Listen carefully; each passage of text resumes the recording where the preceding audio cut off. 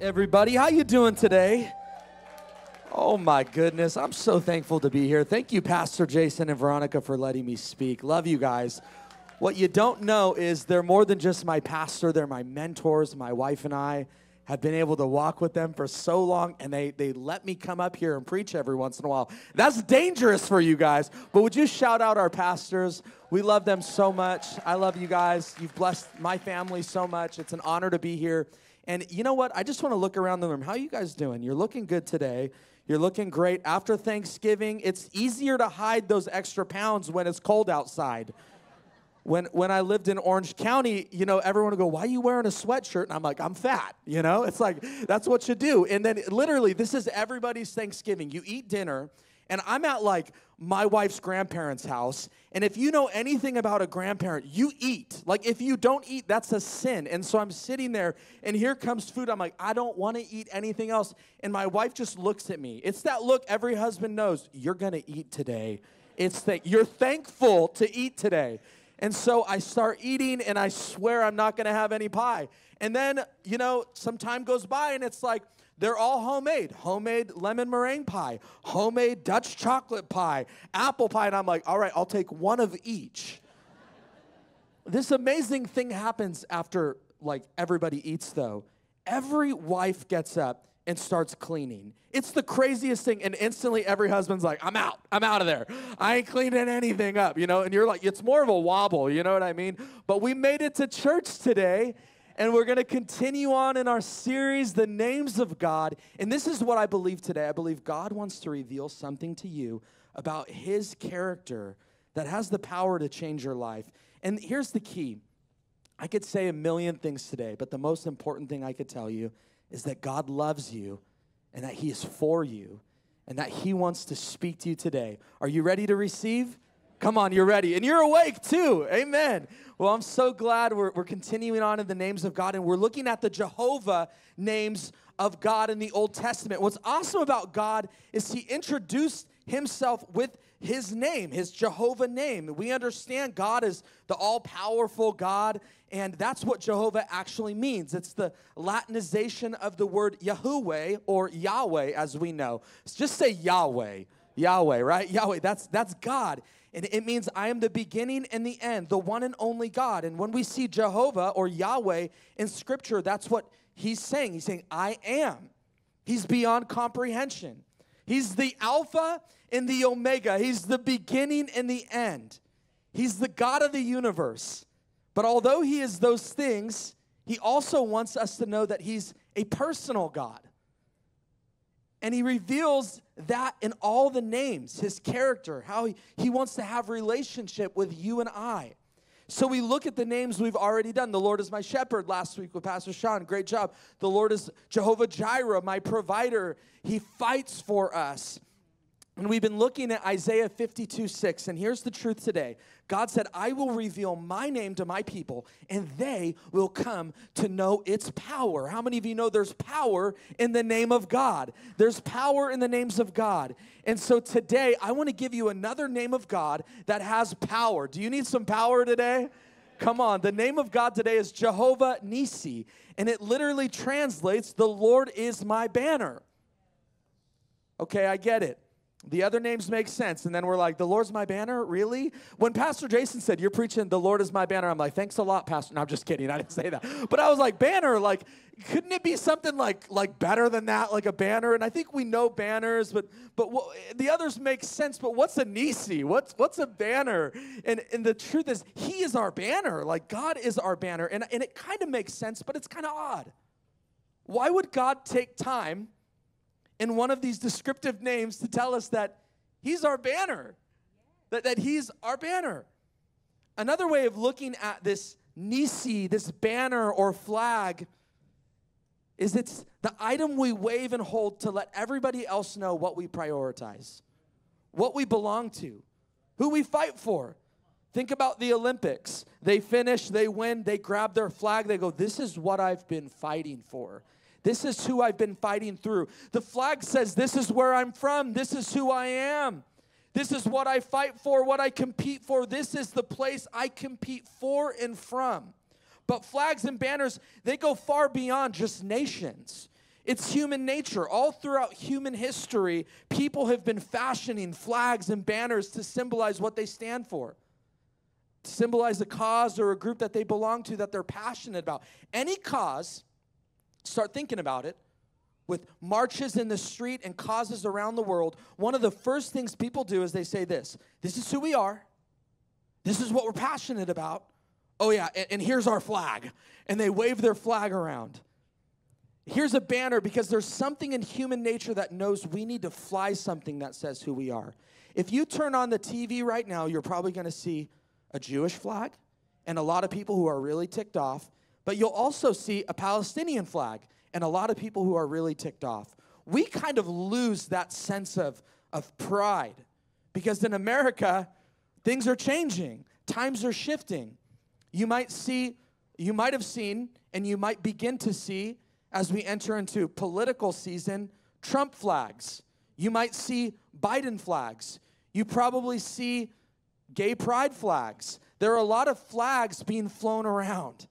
And we're about to re- re- read about God revealing himself as our flag, as our banner.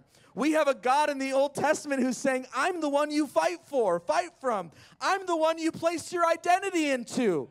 I am the, the, the one you're anchored to. I'm the one that gives you purpose. I'm the cause above all causes. I am Jehovah Nissi. And there's power in that name. And so, what flag are you flying today? what, what flag is over you today? Because I want to show you and I want to reveal to you how God revealed himself as this name in Scripture. There's something for us today, amen? But in order for us to understand that, we need to go back into Exodus. In chapter Exodus 16, the, the Lord has just led the Israelites out of slavery, they were oppressed, they were in the wilderness. And they got upset. They were frustrated. They got hungry. And they're like my kids, you know, you feed them something and they're not happy. They don't want any of it. And so they're literally in the wilderness and they're like, Lord, give us some manna to eat. Give us something to eat because we're hungry. And the Bible says that they were so mad at Moses that they were thinking about killing him. And so God goes, All right, I'm going to give them what they want. And manna literally falls from the sky. And they're like walking through fields of manna. Have you ever been so desperate for a miracle that you're God, if you just do this one thing, I'll never ask for anything again? Well, pretty soon, like a week later, they were like, God, we're sick and tired of this manna. You better give us some meat. We're, we're tired of the bread. Uh, side note, if he would have given them salsa with that, I think they'd have been fine. Chips and salsa is all you need. But, but he didn't. So maybe like that's what I would have done. But instead, he gave them quail. So the, here they are. They have quail. And then they, they again, they're in Rephidim and they have no water. It's a very arid place. It's, it's like a desert with rocks and and cliffs and small mountains, and they begin to complain because they had no water.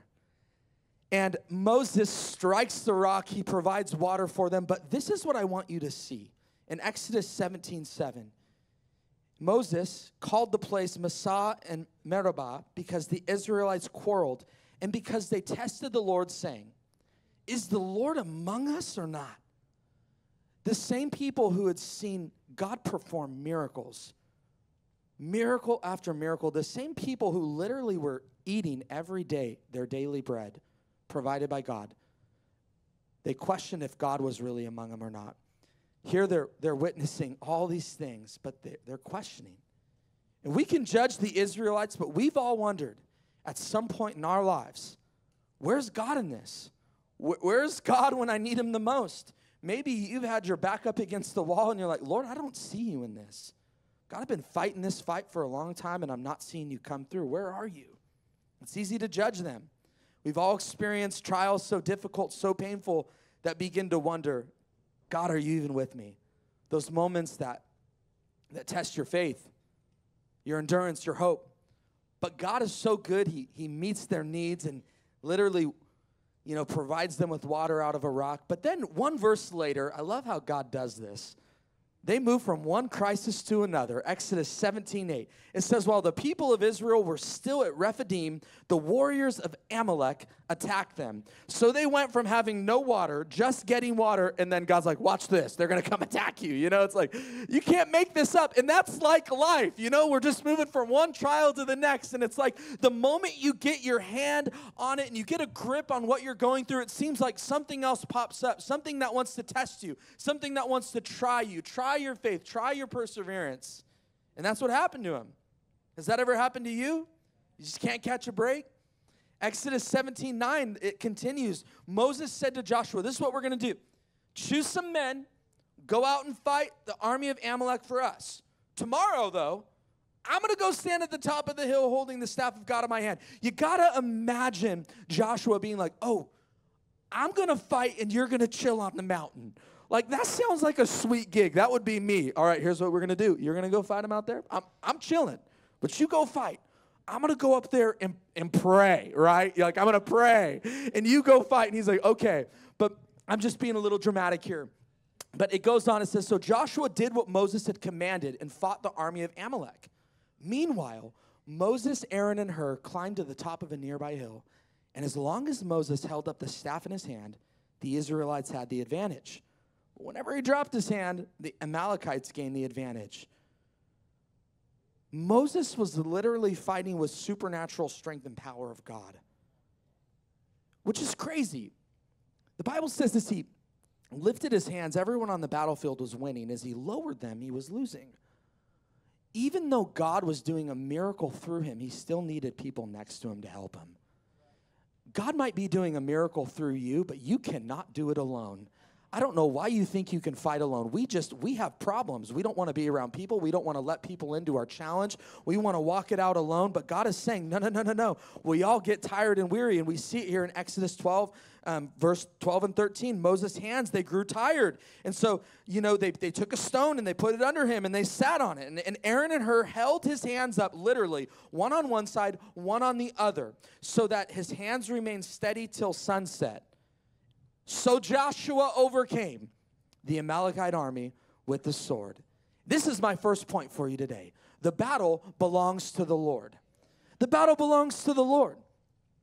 Joshua did not win the battle. Joshua was fighting on the battlefield but he did not win. Are you seeing this? You got to fight on the battlefield, but there's something happening on the mountain that determines victory. So he's literally in the battle. He's doing the work. He's for sure working. He's literally fighting. He's watching people die around him. The Bible says that at some point Moses' hands went down and they started losing, AKA, people died. But also, he was killing people. Holler at your boy, right? It's a little gangster. But make no mistake, God was the one doing the heavy lifting. God was the one doing the miracle. We don't have enough strength to win the battle.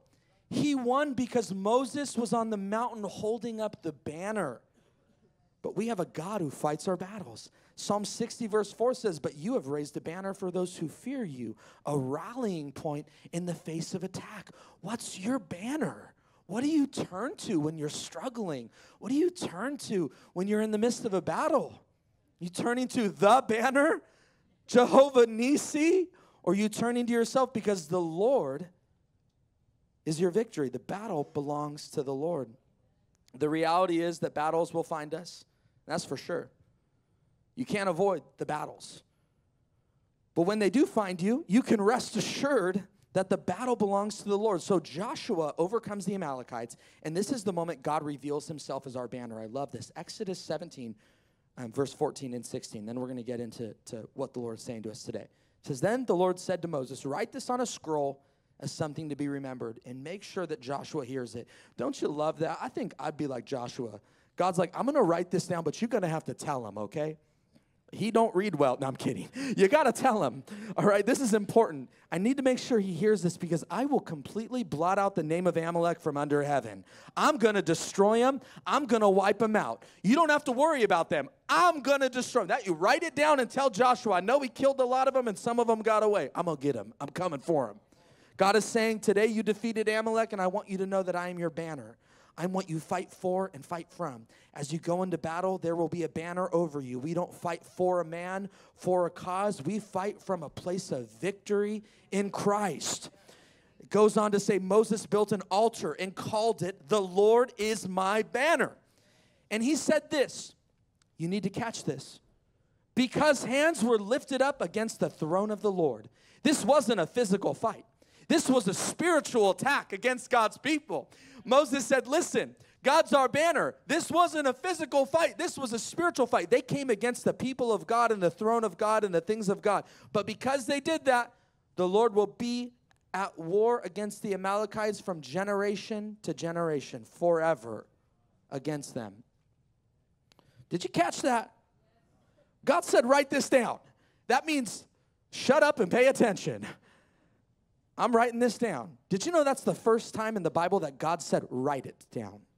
That God told, Mo- write that, Moses. You, oh, write it. I'm serious. That was like grandma walking in with the spoon. You just knew. Boy, she didn't say anything. She came at you with that spoon. It's like, you running out the door. The last one out the door is getting spanked by grandma. Write this down. But this is what's crazy to me the God of grace, truth, peace, love, mercy, wants to utterly destroy a people group. But it's because it wasn't physical, it was spiritual. You need to understand Jehovah Nissi. But in order to understand what it means for us, we need to answer the question who is Amalek? Who is this people group that God said and swore to utterly destroy? Because the God I know is the God of love. And He is a God of love, but He's trying to teach us something. Are you ready? Come on, let's learn together. So, who is Amalek? They're a group of people who belong to and follow their leader, Amalek, who is the descendant of Esau. Esau is a branch of Abraham and Isaac's ancestral tree. If we're honest, so pretty much the Israelites were fighting their second cousins. If we're honest, we'd admit some of our biggest problems come from people in our own family, right? It's like, that's just a fact of life. And that's what was happening here. This is the Esau who sold his birthright and wanted to kill Jacob. You need to understand a birthright was, was a spiritual right. But Esau despised the things of God, he didn't count them as holy. Esau was against the things of the Lord. And we see in Malachi 1 3, so you can get a sense of how God felt about Esau. God said this, but Esau I have hated and I have turned his hill country into a wasteland and left his inheritance to the desert jackals. The Amalekites, descendants of Esau, have completely turned their backs on God. They've been worshiping false gods and giving themselves over to evil for generations. So, God in this story uses the Amalek and the Amalekites as a picture of evil. A picture of evil. So, when we're looking at this story and we're talking about Amalek, it's representing evil moving against the people of God, evil moving against the plans of God. Just like evil was marching against the people of God in Rephidim, evil also marches against you personally. There's always an Amalek. Anytime God is moving and acting in your life, you can bet everything that Satan is also moving to counteract what God wants to do in your life. But here's the hope there's a personal attack, then there's a personal Jehovah Nissi plan in your life. John 10:10 10, 10 says this: the thief comes only to steal, kill, and destroy. I came that they may have life and have it abundantly. It's fun to say that God has a plan for your life. I wish that was the message I could preach today. God's got a plan, rah, rah, hoorah. But the truth is, God does have a plan for your life, but so does Satan. He does. It's not fun, but it's real. And, and I'm not trying to tell ghost stories to you right now. Halloween has passed, okay? Amen? But if we are not aware of the plan and purpose of the enemy, then we will never achieve the plan and purpose of God in our lives. Ephesians 6 11 through 12 tells us this Put on all of God's armor so that you will be able to stand firm against the strategies of the devil. For we are not fighting against flesh and blood enemies but against evil rulers and authorities of the unseen world, against mighty powers in this dark world, and against evil spirits in the heavenly places. There is always going to be an Amalek in your life. There's always going to be a battle. Some of you are in a battle right now. Some of you had Thanksgiving with family members, and you literally know what I'm talking about. Amen. The key is not learning I need you to hear this. The key is not learning how to avoid the battle. God is telling us that He is Jehovah Nissi. He is our banner. He goes over us, before us, and with us. Today we need to learn, though, how God wants us to fight if He is our banner. Because the enemy is real and He is fighting. Today I want to give you some practical tactics. I'm calling them keys to victory so that you can fight what the enemy is throwing at you. I love fighting. You know, I'm a fighter. I tell my wife, I'm like, listen, when we get into disagreements, I, I like to, I don't run, okay? I fight. Some of you, you like to fight. This is going to be good for you. We'll simmer you down after service and make sure you don't get any trouble, okay? But the first thing we need to do if we're going to walk in victory, if we're going to declare Jehovah Nissi over our life, is we need to get in the fight. You need to get in the fight. Get in the fight. You're saying, Brennan, what do you mean? I'm literally being attacked. I'm in the fight. Some battles find us, that's true. And you don't have a choice but to fight. I think about people who are diagnosed with cancer. You don't get to choose. You fight. You fight. You go for it. You can't run from it. But some of us have learned to run and hide really well. You're really good at running from the battle and hiding. You think you're doing a good you think you're doing a good thing. You're like, "Oh no, no, no. I'm not involved in that." No, you are involved in that. No, the enemy's actually using that against you. We know how to stay away from the fight, but the sad reality is that the battle is always right outside your door. You think you're winning because you're hiding, but you're losing because Satan is keeping you from victory. He's keeping you from the victory God's already declared over your life. But you're, you're, you're just, I'm not going to be around them. No, God wants to give you victory you can be around them. A lot of us aren't even in the fight. We've lost our hope, our strength that things could even get better. You, you, you say, well, things can't get better. Why would I fight? This just, you know, Br- Brennan, you know, this is just the way it is. You might even say, well, it's not that bad. You start to live with it. You start to just accept this as a new reality. You start to believe it can't change. You say, This is how my family is. This is how my kids are. This is just how I feel. This is just what he does. We've given up. We've given up. Sometimes we don't want to fight because we're broken, we're hurt. So we run, we avoid. I have my own personal challenge with some family members. And over the years, it hasn't gotten better. And I literally came to a moment where I wanted to give up and I wanted to stop fighting. And the Lord revealed to me, Brendan, you gave up a long time ago. You might not be sinning against them, but you've stopped fighting. And I even stopped praying about it. I had just given up. God, it's just the way it is. I'm just, I quit fighting. God convicted me. That'll happen when you start preparing to preach a message. You know what I'm saying? The Lord convicted me. But I lean on this Second Chronicles 15 7. This is what God said to me. But as for you, be strong and do not give up, for your work will be rewarded. Some of you, you're working. You go, Brennan, I can't fight because that means I got to work. No, you will work, but you will be rewarded. Do not give up. God is your banner. Come on, we got to get in the fight. We need to get in the fight. It's easier to run than to fight. But in these times, we have to remember the Lord is our banner, our victory. We have to get in the fight. It's not fair to just pray about something you won't even fight for. Oh, God, fix this in my life, but you're not even fighting. The Lord's like, You want me to do the miracle, and you're sitting at home playing Xbox.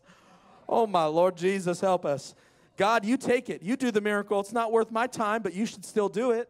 Maybe instead of praying for someone or something to change, you should actually start praying for a heart change. God changed my heart because I quit a long time ago. God changed my heart so that you can renew the fight inside of me. God, remind me that you're my banner and I'm going to go to war and I'm going to believe that there's victory even in my family.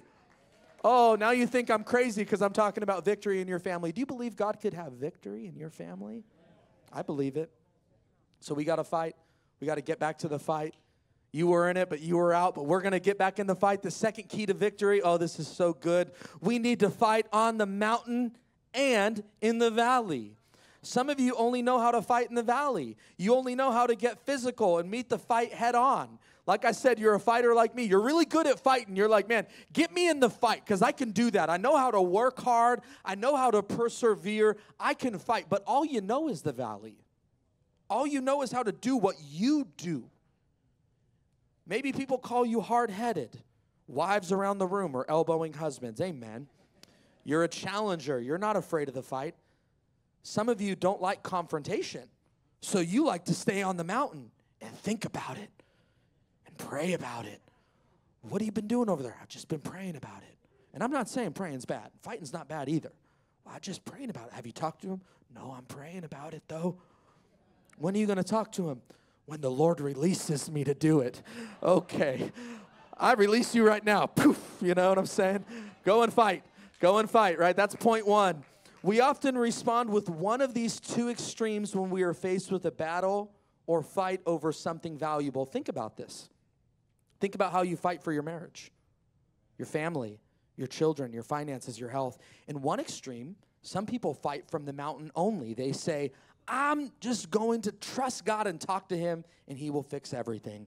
Other people go to the other extreme, the valley, trying to win the battle in the valley, forgetting all about the mountain. They look to their own resources, their own skills, their own abilities, willpower, determination to overcome what they are up against, all the while failing to look to God, forgetting that our strength and victory is in Him, forgetting that He is our banner this is what I want you to know today. Only when we bring the valley and the mountain together will we experience victory. You cannot fight from one place. You have to fight from both places. You cannot just fight on the mountaintop and say, God, I'm not doing anything practically. You've got to fight on the mountain and in the valley. To put it plainly, the valley is what I can do practically. And the mountain is what God can do spiritually. You got to fight on the, on the mountain and in the valley. There's some things that God wants to do spiritually through you, but there are also some things you need to do practically when you get in the fight. Some of us don't know how to fight on the mountain. I get that, but we need to learn how to pray. You need a prayer rhythm in your life. You need to go to the mountain every day. You need to go to the mountain and start naming some things and saying, God, I'm fighting for this again. And he's going to go, okay, I've been fighting, but I'm glad you're fighting now. You need to realize there is more power on the mountain than in the valley. But God wants you to go into the valley and fight. Some of you, you know how to pray, but you forgot that God wants to do the miracle through you in the valley. I love David. You know, when David slayed Goliath, there was no miracle, you know, that happened when he put the armor on or when he grabbed his sling. The miracle happened when David had enough faith to walk into the valley, swing that little sling. And the miracle, this is exactly when the miracle happened. Are you ready for it? He had to go into the valley and work. The moment that rock, that little stone, left his sling, that's when God was like, okay, I'll do a miracle. And he took that little stone, went shoo, like the Matrix, and it came at Goliath and it just, it killed him. God wants to do the miracle through you, but you're going to have to get into the valley if you want to experience the miracle. You need to be on the mountain, but you need to be in the valley. Amen? Deuteronomy 20, verse 4 says this says, For the Lord your God is the one who goes with you to fight for you against your enemies to give you victory. If you're fighting from one extreme, you'll never experience the victories God has for you. So we're going to get in the fight. We're going to fight from the mountain. We're going to fight from the valley. We're going to fight spiritually. We're going to fight practically. And we see this play out a lot. I see this play out with kids. Kids are awesome. They're also not so awesome sometimes. Amen? Okay, anyone who didn't say anything, they don't have kids yet. They're like, oh, kids will be great. Yep, okay, cool. Um, did you know there's a battle for your children happening right now? There is a battle for your children. If you don't believe me, watch any show nowadays. They're trying to win your kids and teach them something. They're trying to confuse their identity, but you need to remember this isn't a physical battle. This is Amalek. This is evil marching against the people and things of God. We have to fight for our kids. We have to fight practically and spiritually. There are seasons that are great with our kids, but some seasons where they rebel and they are struggling with their identity are not so great. And this is what we hear. I hear parents start to say this Well, I don't know what to do. I don't know what to do with my kids. You fight. That's what you do. You get in the fight and you fight for your kids. You fight spiritually. We're going to fight spiritually and practically. You fight spiritually. You pray for them. You don't just pray, God, help my kids. You call them by name. God, help my son Nolan. God, raise him up to be a man of God. Protect his identity, Lord. Lord, Pray for my daughter Clara. She's got a hard head. She's going to be a leader probably. You know what I mean? I'm calling them by name. And when things get really tough, you and your wife start fasting for your kids. They don't need to know you're fasting. Just tell them you're on your new diet after Thanksgiving. Trust me, they'll believe it and they'll know it'll only last for a day. You know what I'm saying? But God only needs 24 hours of my fast, baby. That's what you can do spiritually. Believe God for a miracle, and then you surrender them to God. they're yours. I've done all I can do spiritually. I prayed, I fasted, I'm surrendering them to you. But practically, some of you are like, Amen, amen. No, parents, it's time to get practical. Okay, I'm sorry, but that doesn't mean that you can say, I've done everything I could do, and now I'm just giving them to God. All I can do is pray. I'm giving them to God, which really means you gave up. You gave up because God is calling you to parent them. Don't stop parenting your kids. That's what you can do practically in the valley. You can parent your children. If you don't like who they date, say they're not allowed. Listen, my grandma never encouraged anybody to do anything. Parents are like, oh, I encourage them strongly. No, you are their parent. You're just going to tell them, you're not doing that. I'm your parent. Listen, if y'all, grandmas know best, man. It was not many words. It was just a lot of whipping like this. You know what I'm saying? They, they'd walk into a room. They didn't even know who they're hitting. They're like, someone got in trouble, and like kids are fleeing out of the room like, like mice, you know, and grandma's swinging. It was great, man. That's what happens when you're a product of the Great Depression, you know? It's like you just came in and start hitting stuff. But you got to parent your kids. You got to parent your kids, or someone else will.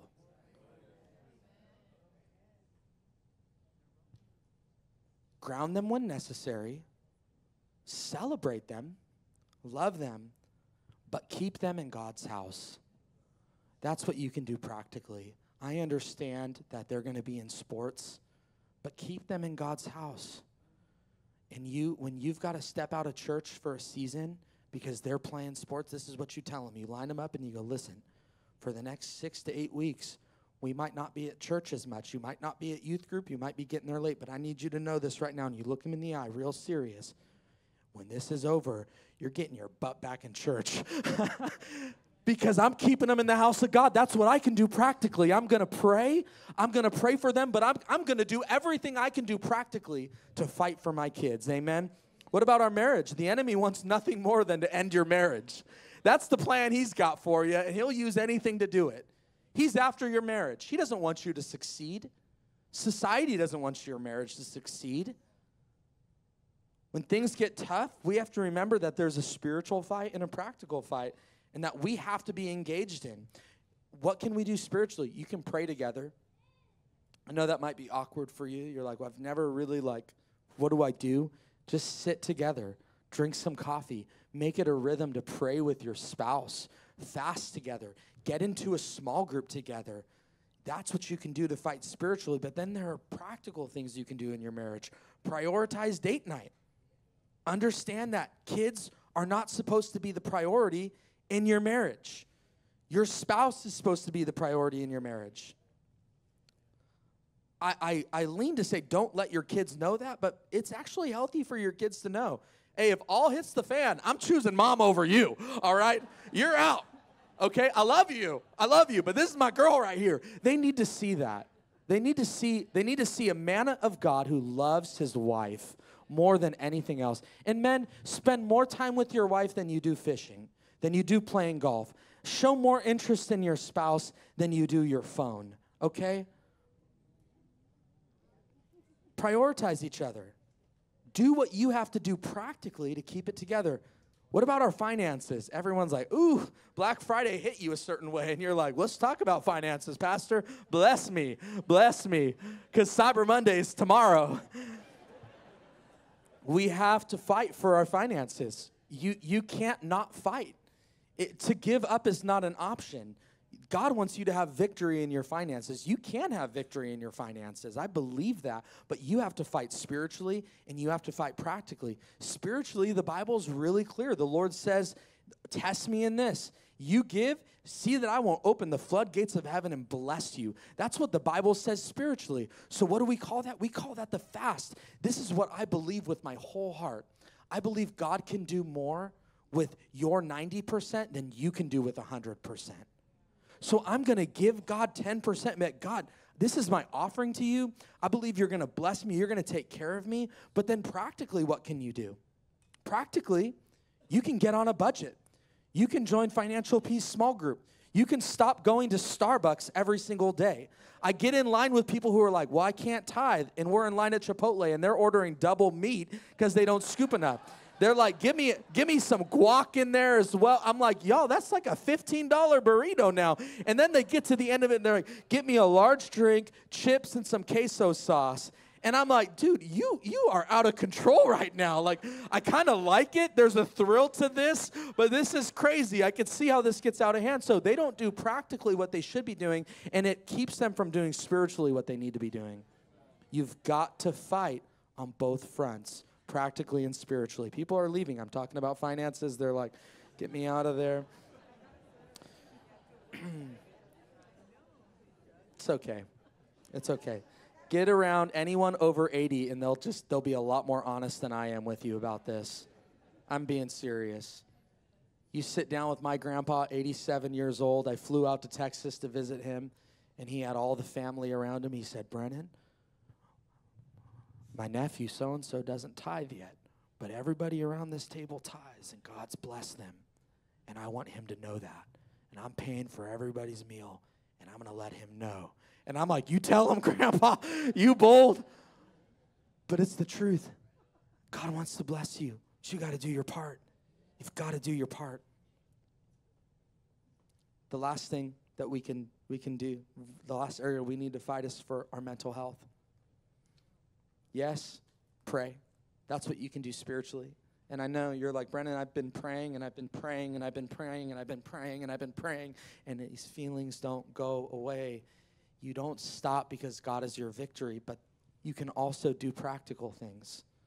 There are people who've walked through this for years, and all you need to do is say, man, I'm going to go to get some counseling. We have a discovery counseling center.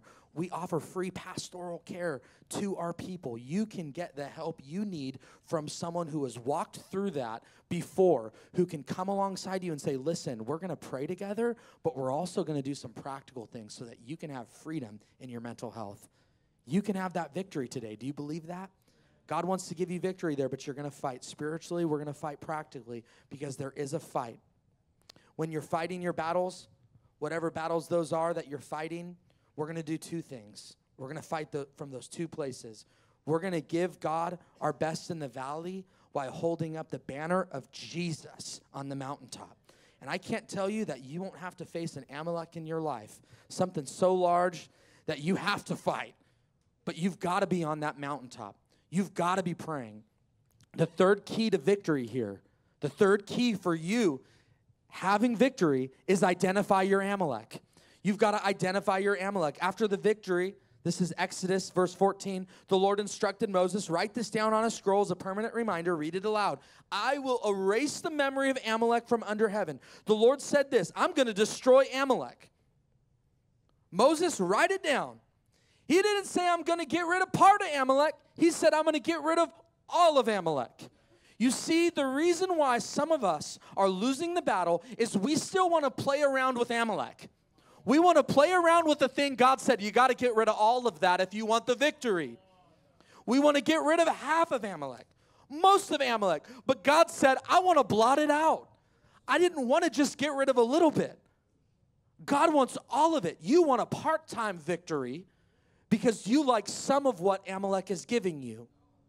God knew if he didn't get rid of Amalek, it was going to come back. If you have cancer, you don't leave a little bit. You don't go to the doctor and go, hey, you just leave a little bit, I'll be fine. No, that cancer is going to come back and wreck you. You go get rid of all of it. I don't want any of it in my body anymore. I'm take it away from me. Don't even get me near it. I want all of that gone. Some of us are playing around with Amalek with the things that we know God wants out of our lives. You're flirting with a coworker you're cheating at work. You're hiding a secret addiction.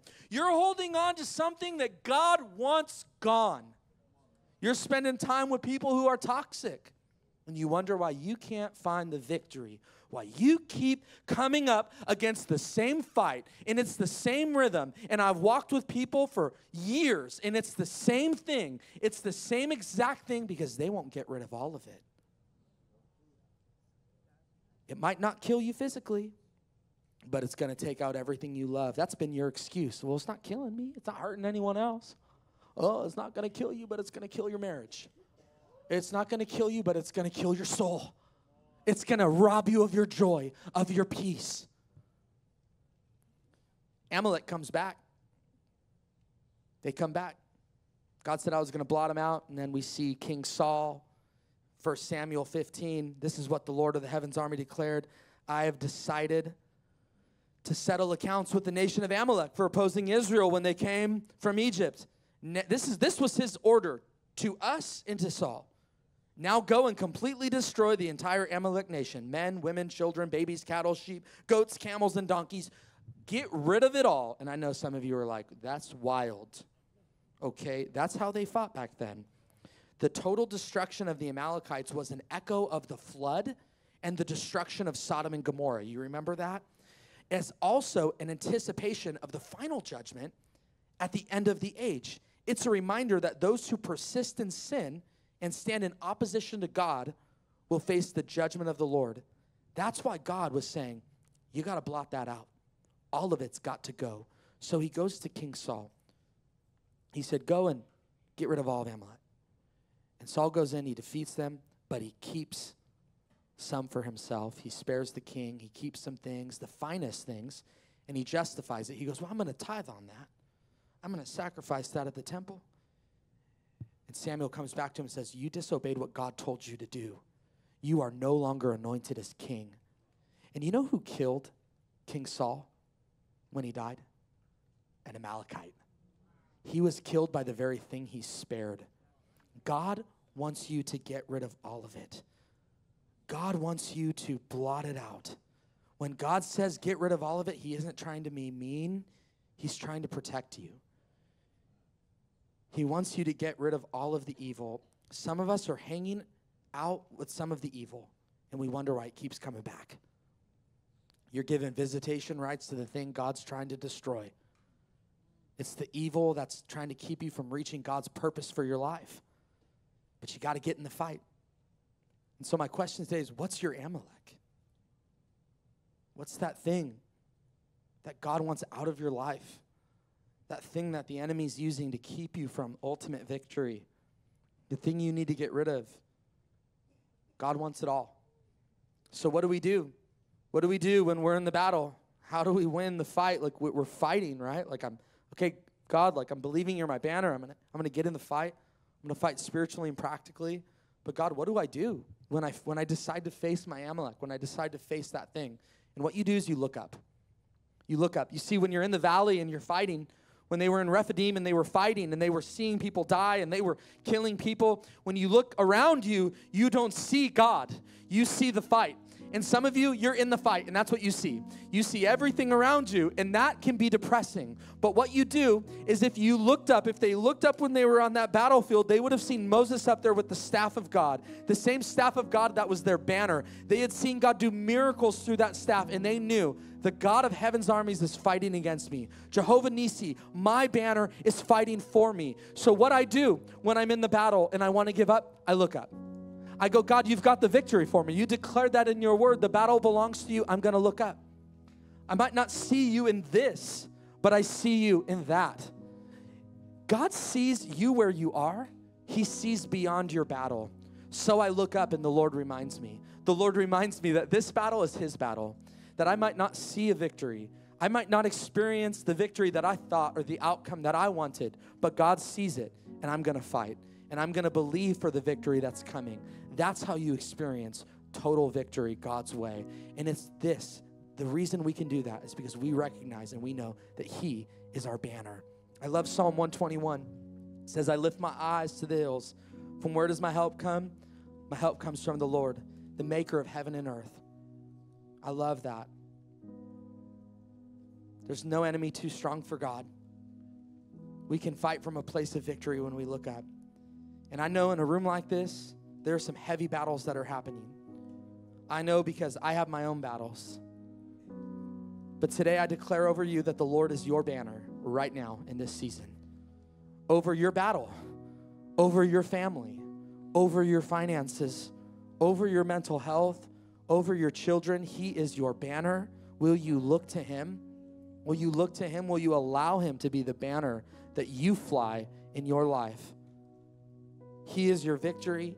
He's going to sustain you through this, and He will not let you be overcome by that which is currently overcoming you. He is Jehovah Nissi, He is your banner. Hey, thank you for watching the Discovery Church YouTube channel. Don't stop here. Join the Discovery Online family every Sunday. Subscribe to this channel so you don't miss a single video or live stream event and share it with a friend. You can also support the ministry by clicking the Give button to help us continue to reach people around the world for Jesus Christ. Thank you again for watching. Go love God, love each other, and change the world.